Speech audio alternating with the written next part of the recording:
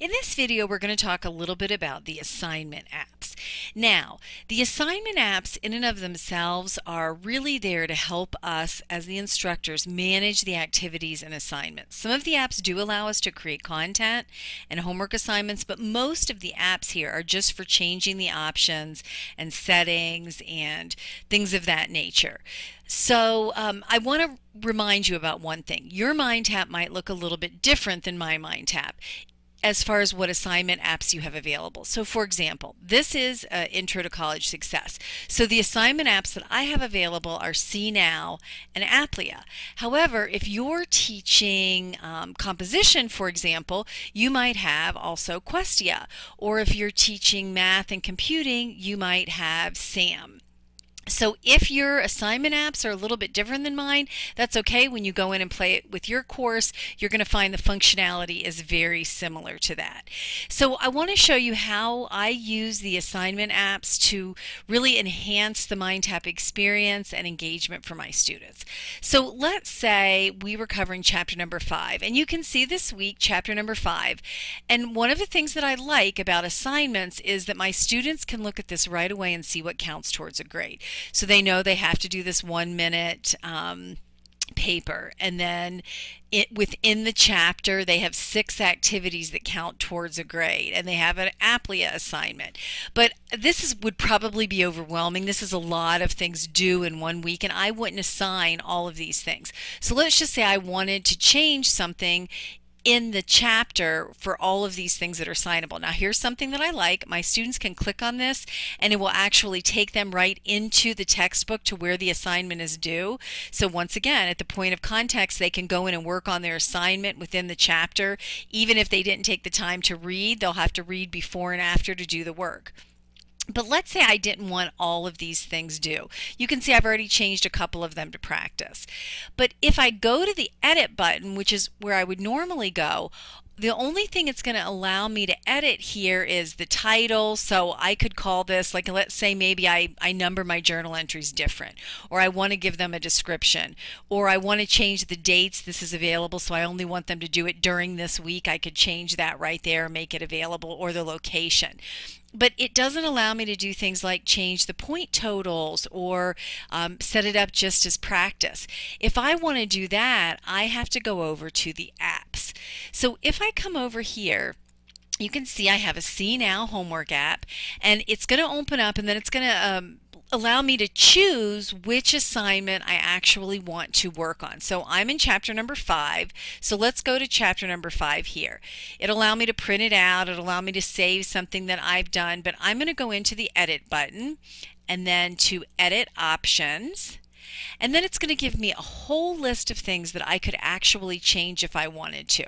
So for example, I usually allow my students three takes on their homework assignment.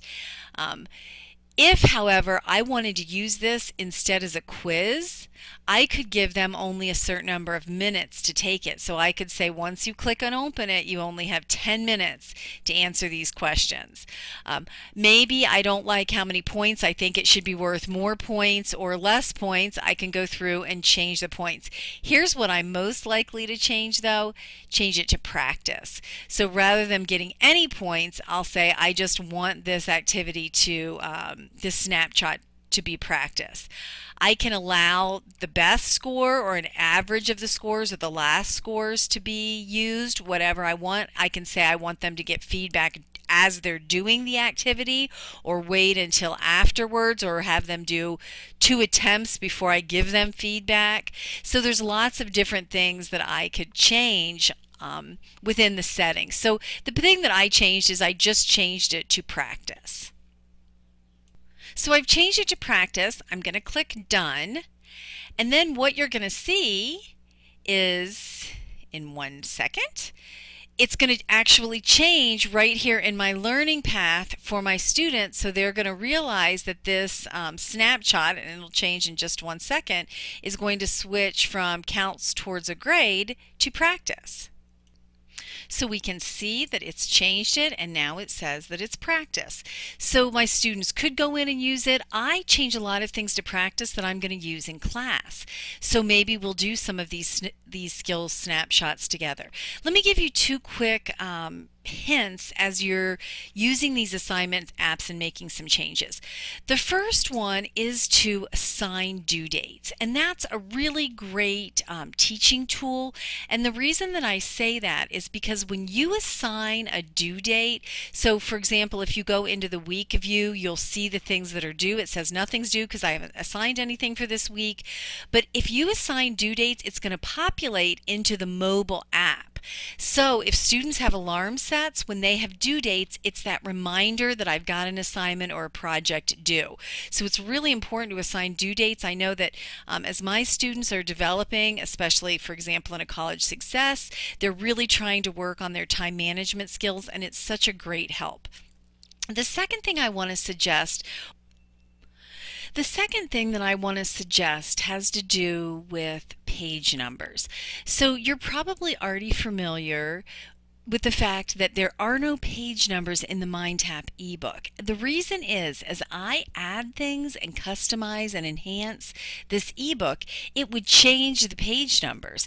So if I added a introduction here, a video, what would happen is that it would change the page numbers on everything. So if I said go to page 32 to find your assignment, it might not actually be page 32 for that course.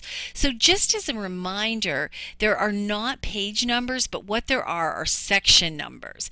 So just reminder to tell your students go to section 5.4 or go to section 5.5 rather than giving them page numbers when you're using the ebook. I hope this was helpful. I'm looking forward to talking with you in the next video as we continue to explore apps to really engage with our students.